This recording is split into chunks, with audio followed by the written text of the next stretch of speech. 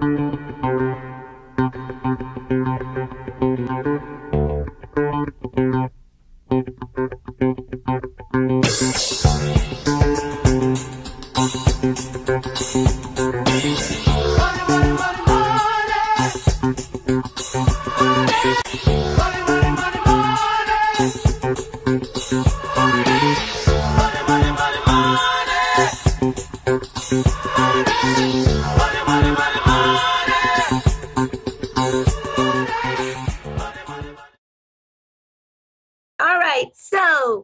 uh, hello, my people.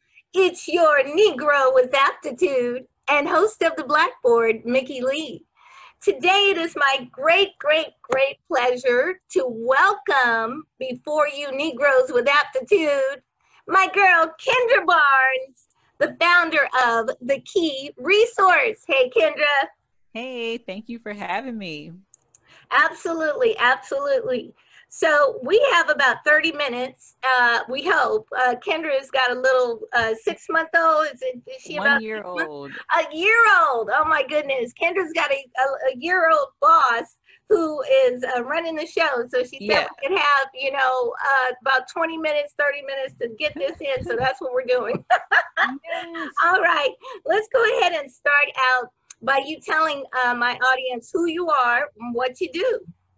Awesome. Yeah. So I'm a real estate investor and I've been investing for about six or seven years. But what I do is I empower, educate, and inspire people to get started with real estate investing and to become homeowners and landlords and, and just investors and build wealth. Yep, people like me, y'all. People like me who have been on the property ownership journey for about 10 years or so. I either keep just missing it or two ahead of it or whatever.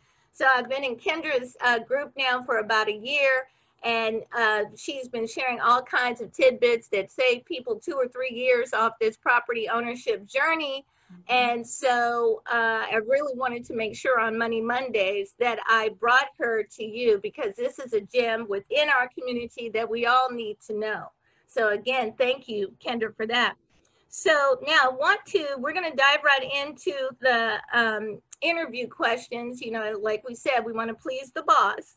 So we Yeah. want to look back at your first experience as a real estate buyer go ahead and, and, and bring us back to that person, the person six or seven years ago who was Mhm. doing the buying for the very, very first time. What was that experience like for you? Yeah, I mean, back then, like, I really didn't have anyone showing me the ropes. And I didn't have, you know, I don't come from like a long lineage of real estate investors or anything like that. And so when my husband and I bought our first house, there were so many things we didn't know. Like, we didn't know about, we didn't know about down payment assistance, like the grants and things like that that you can use and resources out there to help uh, becoming a homeowner more, be more affordable, right? And so we basically wasted money or left money on the table just from not knowing um, these different things. I also, you know, even before we bought our first house, before I even started working full time, one thing no one really ever told me is how important your, I mean, I knew how important your credit score was, but no one really told me how your credit score can really follow you and how it can really like impact your life for years to come. And so if you think about, like how your credit score plays into home ownership, right? That's one of the things they're going to look for to qualify you for a home. What's your credit score? What's your income? You know, how much debt do you have? All these things. And when they calculate all these different things that are attributed to your financial story, that credit score is going to tell them how much to charge you basically for that loan that you get. And when we bought our first house, my credit really wasn't all that great because of mistakes that I had made in college. And I'm basically still paying for those mistakes to this day, right? Just because of how it all played out. And no one really ever told me that. And so that's why I'm so passionate about what I do. Um, just making sure people really have that full picture and they can understand like what goes into it. Mm-hmm. Fantastic. And when I say it's a full picture, guys, that's exactly what it is. Um, as you know, on Money Mondays, I talk about Black entrepreneurs, Black and African entrepreneurs, but mostly Black, ADOS, FBA uh, entrepreneurs. And um, I really don't recommend, quote unquote, I bring you information and you make your own informed decision about where you'd like to go. But I do want to say this little tidbit. Recently, I purchased um, some training and it wasn't quite uh, what was uh, promoted. I'll just put it that way. Mm-hmm. And the the worst part about it for me was that the um, the support, the the after purchase support was nowhere near what was promoted. And if you're anything like me, I'm a slow pot that boils, you know, gets to that boiling level. So that means I have to look at information, digest information, and then I take the action. Sometimes it, it's just too slow of a process, but you know, that's the way it goes. So I do need to be able to go back to someone and say, well, what about this or what about that?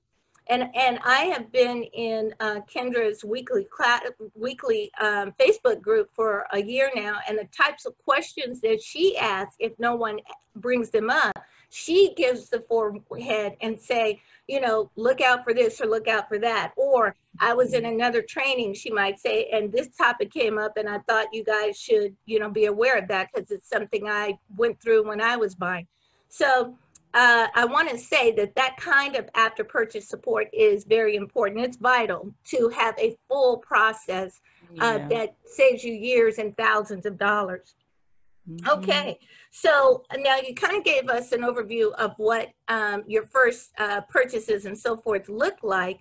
Uh, mm-hmm. Can you can you zero in on some of the wins you felt from that purchase? Of course, it was the house. You got the house, but what mm-hmm. were some of the wins that you felt? And then, of course, what were some of the mm, do overs? Yeah, so the win was definitely being a homeowner. There's so much power in it, and so uh, we were able to eventually turn that home into a rental property. And that's the really cool thing about like once you own a home, there's so many different things you can do, right? Like you can live in it, of course, you can sell it, you can make money that way, you can rent it out and go buy yourself another house. You can um, take equity out of it, you know, and use that to invest in other things. So the win to us was definitely getting that home, um, and we got it for an amazing deal. So what we, what we did was we bought what's called a short sale, and short sales, it's like a short sale is like almost a foreclosure, but not quite yet. So you're basically buying a house at a discount, and we got the house for like maybe 300 i think it was like 300 something thousand where it was originally like 500 a $500,000 house which mind you this is in Washington DC so it's a little expensive. So at the time that was a steal. It's, it's if you find a house in DC right now for that price it's probably going to be falling apart. But back then that was really a steal um and so that was a win for us. But some redos I would definitely have gone through some kind of down payment assistance program um, and leverage those resources. I, I really I really do regret like not taking advantage of those things. Mm-hmm. Mm-hmm. And so, you know, she put on that. Um, some of what I what I'd like you to speak a little bit more to is some of our folks, um, like my credit was jacked back in the last recession. So I gave myself a bailout and I used the legal way to get around a whole bunch of shackles. Let me just say it like that. Okay. Good, good and so you. now this time I'm sitting on top of like 750 plus, right? 750, good. 775, somewhere in there. Okay. Awesome. So would your credit score uh, affect your ability to get down payment assistance, for example? It depends on the type of down payment assistance. For most like grants, probably not. But if you're looking at a down payment assistance program that's tied to a loan, then yes. And so that's what we have to look out for when you're looking at down payment assistance. There are grants, which is basically like um, the city that you live in saying, hey, we will give you $5,000. There's no strings attached as long as you're a first time home buyer. But then there are down payment assistance programs that are deferred loans, which is a program saying, like, we'll give you $10,000 interest free for five years. And then after five years, if you don't live in that property anymore, you're going to owe us that money back.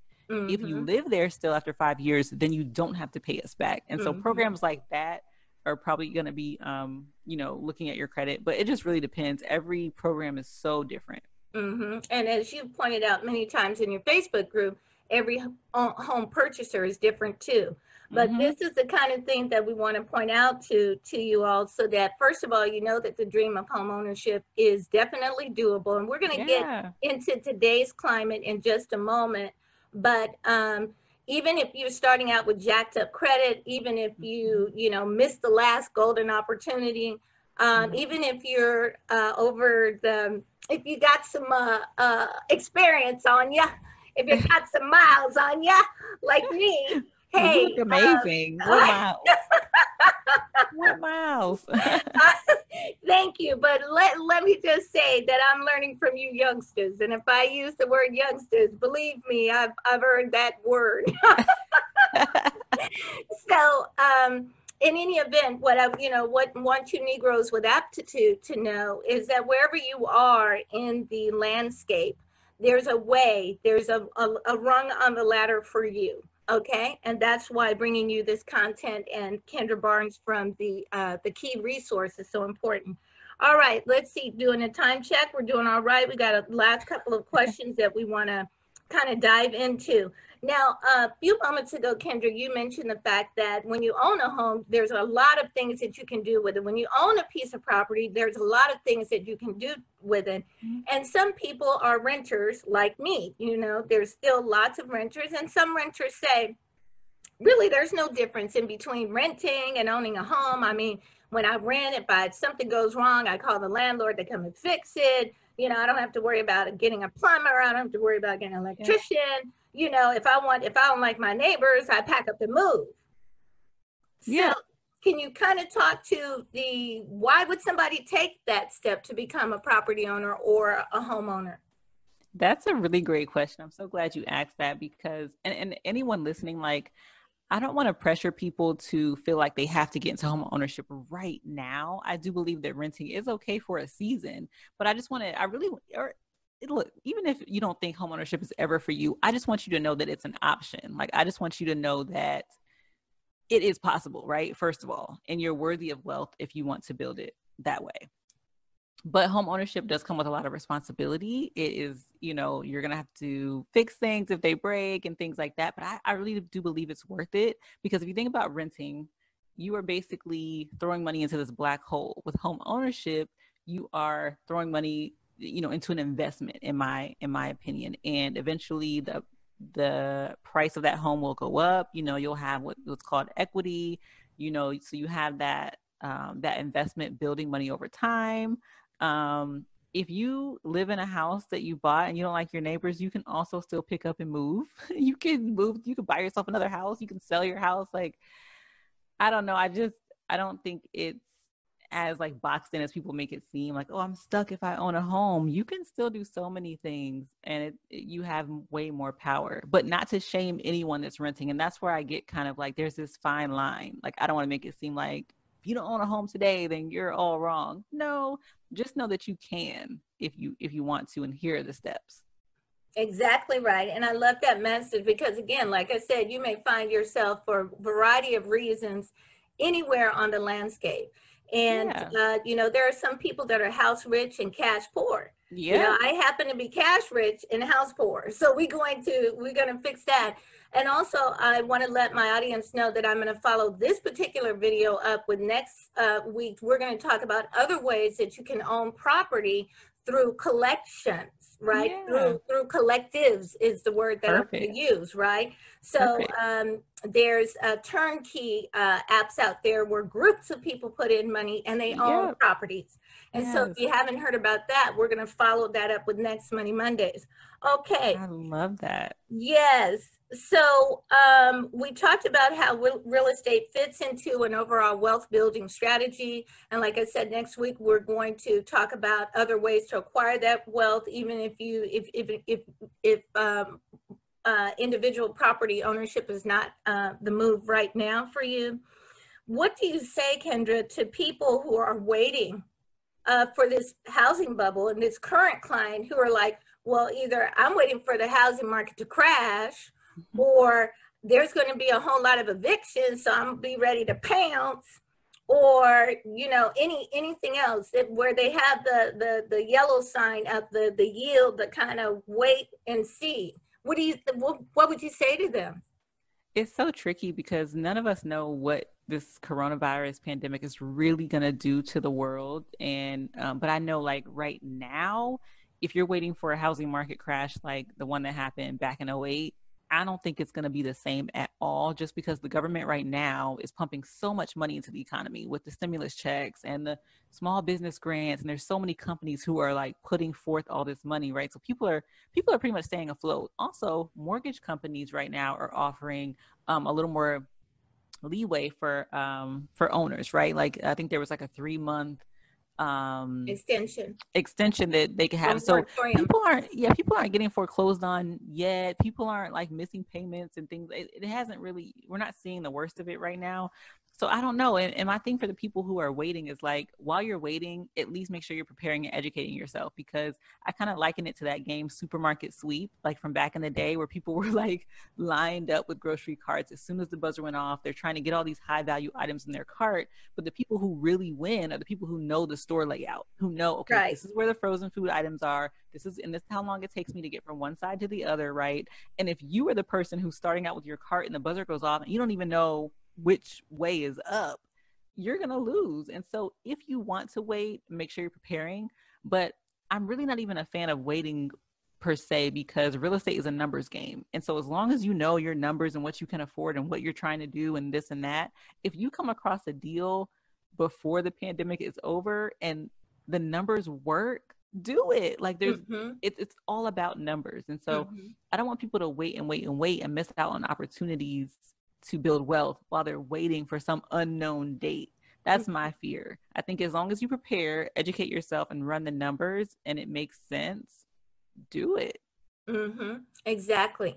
And I also will add to that um, you know, not only are there a variety of ways for you to become a property owner or a home owner, land owner, but you also, when when you are just waiting, you got to live somewhere, and other people have to live somewhere, and then also take your mind out of your immediate location. So I'm here in California which is so anti anybody new owning property. so expensive. exactly. You know, I mean, I see more unicorns than I do new property owners. okay. Yeah. So the thing about it is, um, I've had to learn, and part of this is through Kendra, and part of it is through other people that I've been watching, which is to think outside of your locale. You know, so there are areas in California yeah. which will still be um, cost effective or more or less for California. Mm-hmm but there's also in this day and age of the internet and all kinds of apps i can become a property owner and a landowner in other states yeah. so i also want you to open your mind to that okay all right Definitely. let's see now kendra we're going to go ahead and wrap up today um, but I want to make sure that we touched at the very, very beginning in your introduction uh, regarding the types of products and services that mm-hmm. you that you offer. But would you remind people of it, delve in a little more deeply into the types of products and services that you offer to help people in their home um, home ownership journey or their property ownership journey. Yeah, thank you. And I do want to like echo what you said about investing in other states too. If you live in a high cost of living area like California, New York, DC, and you feel like you can't afford to buy a home or buy rental property there, please don't be afraid to invest in other areas. And that also goes to people who are renting like if you're renting in those high cost of living areas then i know investors who literally are still renting themselves right where they live but they own properties and i think the key is to make sure your money is making money so if that means that you rent where you live for the rest of your life or for the next 20 years or whatever it looks like as long as you're investing somehow that's all i just want that's that's the message i want people to to hear and so um, I just kind of wanted to echo that. And and like you said, investing as a team, like investing in these other sites and things like that, that's okay too. Um, so thank you for putting that out there. But as far as products and services, I have ebooks and courses and things like that. But two that I want to share with you right now, especially since we're talking about first-time home buyers and home ownership.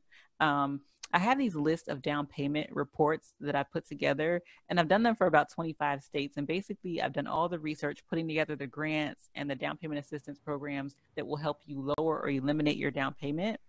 Um, the really cool thing about them is literally you can pay whatever you want for them. There's no set price. If you think it's worth a dollar, pay a dollar. So most of them are like anywhere from four to eight pages, a list of programs that you can use. Um, so those are really cool. And then I also have the program that um, you were speaking of earlier, the First Time Homebuyer Society, which is basically weekly coaching with me to ask me questions and to kind of get a guide as you go along your home ownership journey. Um, but any anyway, you guys can find me on Instagram at the key resource. And if you find me there, all my resources are right there. And I would love to chat with you guys. DM me, let me know that you found me on this um, amazing show, and we can chat. All right. Okay, so folks, we made it through. Um, you know, the boss didn't beckon you, so you know, all right, okay, okay, okay. I love your energy. You're this is so oh, well, thank you. And again, I just want to thank you so much for joining us today on Money Mondays, which is part of the Blackboard uh, channel.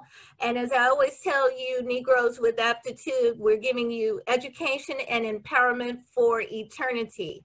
So if you like this content, and I know you do, make sure you give a thumbs up. Make sure you share the video. Make sure you check out Kendra on her Instagram account. I'm going to leave that information in the description box. Give her a holler, let her know the Blackboard sent you, and we'll see you next time on the Blackboard. Thank you. Thank you, Kendra.